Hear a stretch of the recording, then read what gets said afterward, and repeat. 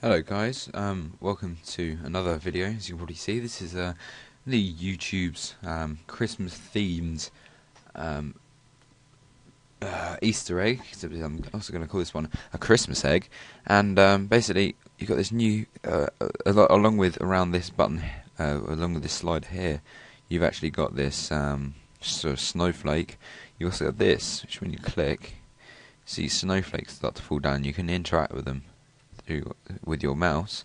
You can also carry on playing the video whilst they're still going. This is that's one of my videos, my other videos, um, and as you can see, they all start to pile up at the bottom. So if I start, if I try and get them, also if they go off one side of the screen, you see they come onto the other side.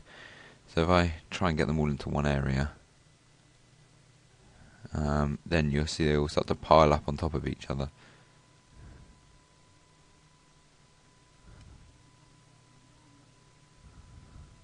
There we go. So I'm getting, getting them all over to one, generally to one side. Then you see they all start to pile up on top of each other.